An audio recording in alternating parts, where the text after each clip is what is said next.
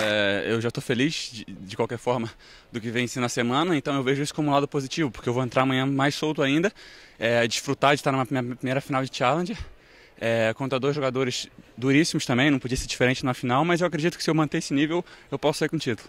Ano retrasado foi um ano realmente muito difícil, e ano passado eu dei a volta por cima, é, fiz ótimos resultados na Europa, ganhei quatro títulos, fiz três quartas de Challenger, ganhei jogo em ATP, jogo em Copa Davis, então é, isso me deu muita confiança. É, e nesse esporte eu acho que o que, que faz toda a diferença é a confiança mesmo. É, se você tá, eu sei que eu, eu tinha essa capacidade de fazer resultados como esse, mas eu não fazia porque eu não tinha confiança em mim mesmo quando entrava para jogar, porque eu sabia que tênis eu tinha. Então era mais uma questão mental.